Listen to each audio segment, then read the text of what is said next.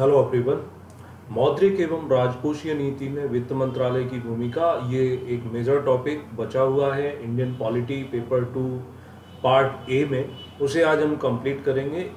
ये जो टॉपिक है, इसमें क्वेश्चन अलग अलग तरीके से आ सकता है। डायरेक्ट क्वेश्चन ऐसा भी आ सकता है कि मौद्रिक एवं राजकोषीय नीति में वित्त मंत्रालय की भूमिका बताए। क्वेश्चन ये भी आ सकता है कि मौद्रिक नीति क्या होती है। राजकोषीय नीति क्या होती है? दोनों में डिफरेंस क्या होता है?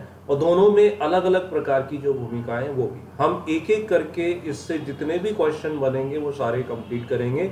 आज हम सबसे पहले स्टार्ट करेंगे मौद्रिक नीति या मॉनेटरी पॉलिसी नीति में हम मेन मेन चीज़ें क्या देखेंगे? इसका मीनिंग यानी अर्थ क्या होता है मौद्रिक पॉलिसी का? इसकी आवश्यकता क्यों पड़ी? इसके उद्देश्य क्या है? इस मौद्रिक नीति के अंतर्गत कौन कौन से उपकरण या क्या क्या कार्य किए जाते हैं क्या क्या इंस्ट्रूमेंट्स होते हैं वो भी देखेंगे। और इसके बाद रोल ऑफ़ मॉनेटरी पॉलिसी यानी मौद्रिक नीति की क्या भूमिका रहती है इनको हम कवर करेंगे। मेन फोकस हमारा इन चीज़ों पर रहेगा। राइट right, तो सबसे पहले मौद्रिक नीति ये क्या होती है उसका अर्थ लिख देंगे। वित्त किसी भी शासन व्यवस्था का आधार होता है। वर्तमान युग में वित्तीय प्रबंधन के अंतर्गत सरकारें आर्थिक स्थिरीकरण के रूप में मौद्रिक नीति को लागू कर दिया। इसको हमने यहाँ से स्टार्ट कर दिया। ठीक, अब मौद्रिक नीति का अर्थ क्या रहेगा, वो हम बता देते हैं कि किसी भी देश के केंद्रीय बैंक द्वारा मौद्रिक, यानी मुद्रा की सप्लाई, साख, मुद्रा एवं साख की आपूर्ति के लिए जो नीति बनाई जाती है, उसको हम मौद्रिक नीति कहते हैं। इसका कई बार मीनिंग आएगा, वहाँ से आप देख सकते हैं। राइट फिर भी हम लिख देते हैं कि मौद्रिक नीति से आशय एक देश के केंद्रीय बैंक द्वारा साख नियंत्रण, यानी फॉर क्रेडिट कंट्रोल अपनाए गए उपायों में से एक है। दूसरे शब्दों में, मुद्रा तथा साख की पूर्ति का एक अपेक्षित स्तर बनाए रखने के लिए जो नीति अपनाई जाती है, उसी को हम मौद्रिक नीति के नाम से जानते हैं। ये इसका मीनिंग हो गया ठीक, इसके बाद अब हम देखेंगे कि इस मौद्रिक नीति की आवश्यकता क्यों पड़ी, क्यों ये बनाई जाती है। पहला कारण रहेगा मौद्रिक नीति का कि बेरोजगारी जब बढ़ती जाती है तो उसको कंट्रोल में रखने के लिए मौद्रिक नीति बनानी पड़ती है। तो फ़र्स्ट रीजन बेरोजगारी में वृद्धि। दूसरा रीजन आता है राष्ट्रीय आय में वृद्धि करने के लिए। ना कि राष्ट्रीय आय में वृद्धि हो रही है, इसलिए बनाए। है ना? फॉर इंक्रीजिंग नेशनल इनकम राष्ट्रीय आय में वृद्धि करने के लिए मौद्रिक नीति की आवश्यकता पड़ती है। तीसरा रीजन रहेगा मूल्य वृद्धि, यानी महँगाई जब होती है इन्फ्लेशन होता है, उस समय भी मौद्रिक नीति की मॉनेटरी पॉलिसी की आवश्यकता पड़ती है।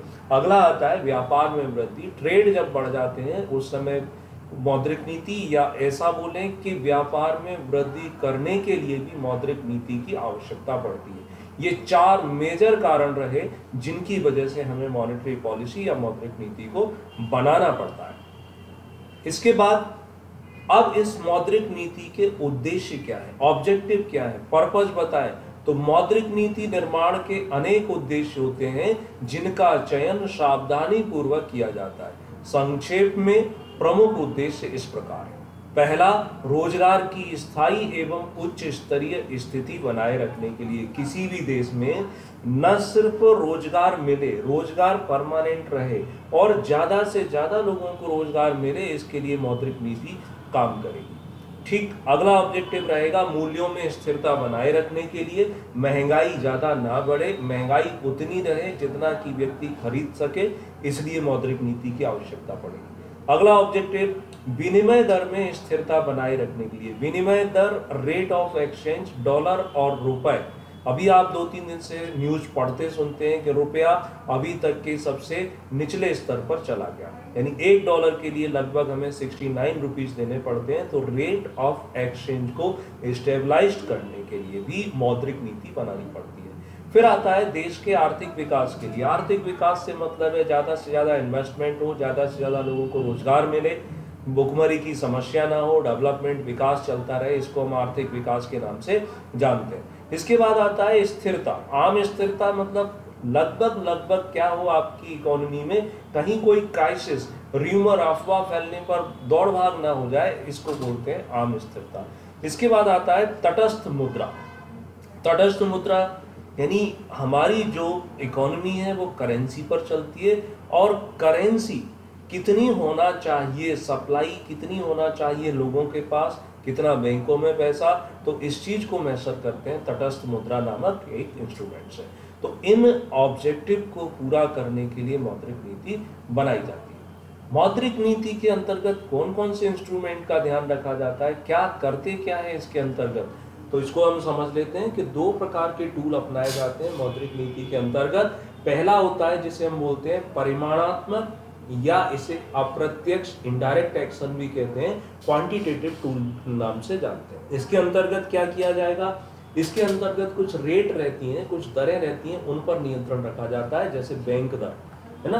बैंक दर क्या होती है? जब कोई बैंक आरबीआई से उधार लेता है लॉन्ग टर्म के लिए तो जो पेमेंट करेगा ब्याज का उसको हम बोलते हैं बैंक रेट यानी rate of interest which bank pay to Reserve Bank of India for long term borrowing लंबे समय के लिए जब उधार लिया जाएगा, तब के लिए बैंक दर।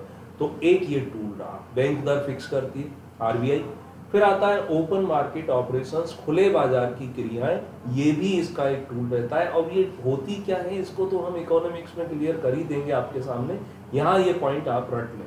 नगद आरक्षित अनुपात सीआरआर कैश रिज़र्व रेशियो खुले बाज़ार की क्रियाओं को शॉर्ट में बता दूँ कि गवर्नमेंट सिक्योरिटीज को आरबीआई को दे दिया जाता है आरबीआई उनको बैंकों के हैंड ओवर कर देता है बैंक दूसरे लोगों को दे सकते हैं। तो इसको बोलते हैं ओपन मार्केट ऑपरेशन नगद आरक्षित अनुपात सीआरआर कैश रिज़र्व रेशियो यह, वह अमाउंट होता है जो प्रत्येक बैंक को every bank ND net demand and time liability NDTL का उसको आरबीआई के पास जमा करना पड़ता है। ऐसा समझे कि बैंक के पास टोटल कितना कैश है, उस कैश का एक सर्टेन परसेंट जैसा आरबीआई डिक्लेयर करेगी, उतना उसको आरबीआई के यहाँ जमा करना पड़ता है। जैसे थ्री परसेंट सौ रुपए का बैंक है तो तीन रुपए आरबीआई को देना पड़ेंगे। इसे हम बोलते हैं कैश रिज़र्व रेशियो राइट इसके बाद दूसरा टूल होता है मौद्रिक नीति का, उसे हम बोलते हैं प्रत्यक्ष साधन।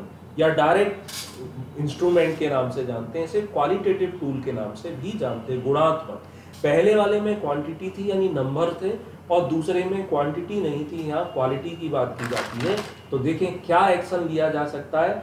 ग्राहक साख नियंत्रण टू कंट्रोल कस्टमर क्रेडिट ना, ग्राहक साख नियंत्रण, यानी ग्राहकों को जो उधार दिया जाता है, उस पर कुछ ध्यान देगी आरबीआई के द्वारा। नैतिक सुझाव मोरल सजेशंस दे सकती है केंद्रीय बैंक बैंकों को, है ना, कि बैंक जो लोन बांटती है, किसानों को ज़्यादा बांटे वीकर सेक्शंस को ज़्यादा बांटे, नहीं बांटेंगे तो क्या करेंगे? आपके खिलाफ एक्शन लिया जा सकता है। तो तीसरा आता है डायरेक्ट एक्शन आरबीआई जब इस प्रकार से कोई एक्शन लेगी तो उसे हम बोलते हैं प्रत्यक्ष कार्यवाही उर्जित पटेल चले गए एसबीआई में और वहाँ उन्होंने मोरालिटी पर सुझाव दे दिया कि बैंकों को अभी इस सेक्टर को ज़्यादा लोन बांटना है। तो इसको कहते हैं नैतिक सुझाव या मॉरल सजेशंस राइट ये दो प्रकार के टूल हुए, एक परिमाणात्मक, इसमें कुछ रेट रहेंगे, दर रहेंगे बैंक रेट होता है है ना? इसमें C R R S L R जैसी चीज़ें भी आ जाती है और क्वालिटी वाले में ऐसी चीज़ें नहीं आती है। ठीक, इन इंस्ट्रूमेंट का उपयोग किया जाता है मौद्रिक नीति के अंतर्गत। इसके बाद अब हम देखेंगे कि मौद्रिक नीति की भूमिका क्या है आज के समय में, खासकर हमारे जैसे देशों में, यानी विकासशील देशों में और दूसरी तरफ़ डेवलप्ड यानी विकसित देशों में। तो दोनों में इनकी भूमिका को देख लें। सबसे पहले विकासशील देशों की आर्थिक व्यवस्था में उदार मौद्रिक नीति अपनाई जाती है। लिबरल मॉनेटरी पॉलिसी को फॉलो किया जाता है। लिबरल यानी नियम कानून बहुत ज़्यादा कठोर नहीं होते। और इस उदार मौद्रिक नीति के फलस्वरूप पूंजी का प्रवाह या सरकार से जनता की ओर होता है। यानी पैसा कहाँ किधर जाएगा तो गवर्नमेंट से किधर फ्लो करेगा? लोगों की ओर आम जनता की ओर आएगा। या दूसरे शब्दों में हम कह सकते हैं कि केंद्रीय बैंक से जनता की ओर पूंजी का प्रवाह होता है जिससे बेरोजगारी दूर करने नवीन आर्थिक क्रियाकलापों के लिए धन की उपलब्धता बनी रहती है। लोन लेना सस्ता हो जाता है लोगों के पैस, पास पैसा ज़्यादा रहता है तो वो कई सारे बिज़नेस स्टार्ट कर सकते हैं। ये विकासशील देशों में ऐसी पॉलिसी रखनी पड़ती है। विकसित देशों की बात करें, दूसरी ओर विकसित देशों में मौद्रिक नीति अनुदार होती है, यानी इतनी लिबरल नहीं होती। टाइट मॉनेटरी पॉलिसी बना के रखते हैं, जिसमें पूंजी का प्रवाह जनता से सरकार की ओर होता है। यानी flow of capital towards government ठीक, यहाँ पैसा जनता से निकल के सरकार की ओर जाता है, या जनता के पास उपलब्ध अतिरिक्त पूंजी सरकार के द्वारा खींच ली जाती है। कैसे खींच ली जाती है? उन, आपको कई प्रकार की चीज़ें उपलब्ध करा दी जाएँगी। बैंक में फिक्स डिपॉजिट करने पर रेट ऑफ़ इंटरेस्ट ज़्यादा दिया जाए। बॉन्ड इशू कर दें जिसमें ब्याज की दर ज़्यादा हो तो लोग अपना पैसा यहाँ सरकार को देना पसंद करते हैं। तो ये थी मौद्रिक नीति। अब मौद्रिक नीति के साथ साथ अगले लेक्चर में हम देखेंगे राजकोषीय नीति यानी फ़िज़िकल पॉलिसी क्या होती है। मौद्रिक नीति और राजकोषीय नीति में अंतर क्या होता है? Difference between monetary and fiscal policies और लास्ट वाला रहेगा वित्त मंत्रालय की भूमिका मौद्रिक एवं राजकोषीय नीति में। तो अगले लेक्चर में हम इन तीनों बची हुई चीज़ों को कंप्लीट करेंगे।